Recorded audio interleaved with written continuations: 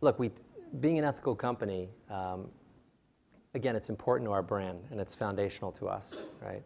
Uh, we want our, our partners, our suppliers to know when they're doing business with us that we're treating them in a fair way and that everything is transparent um, and they can trust that we're going to deliver on the services that we say we're going to deliver and you know, that they can feel like they are investing with a company that is going to care very deeply about uh, the treasure that we're, that we're earning from them.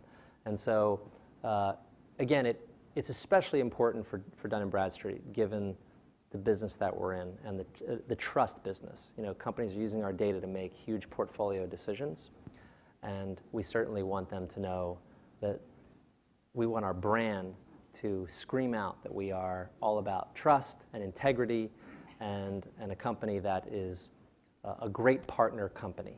And that really is, you know, the story behind the story of being and, and I want to generalize this. So look, the whole strategy of the American technology sector is essentially built on trust. I mean, basically, particularly, particularly if you think about the, the Silicon Valley culture, we tend to shake hands on a lot of things to get things done faster. We ask the rest of the world to trust us. We, ask, we want to co-create with partners. We want to collaborate to build markets in other countries. If we're not trustworthy, this entire strategy fails.